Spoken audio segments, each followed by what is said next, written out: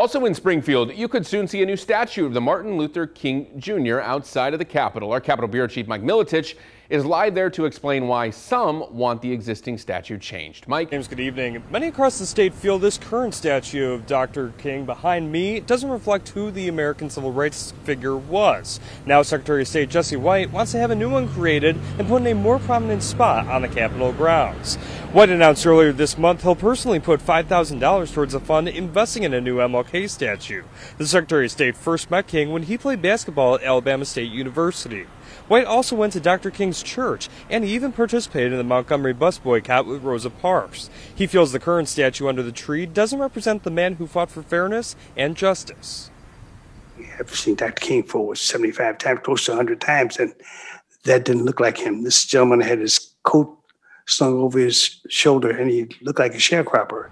And Dr. King has never looked like that. He's always was a dapper fella, always had a suit and a tie on. White also said that he wanted to start this effort to create a new statue with a better image of his colleague, Dr. King. Chairwoman Mary Flowers says the state must find an artist that can make a statue that truly shows everything Dr. King did for the state and the country. From now reporting live in Springfield for your 13 Weather Authority, Mike Miletich, 13 News.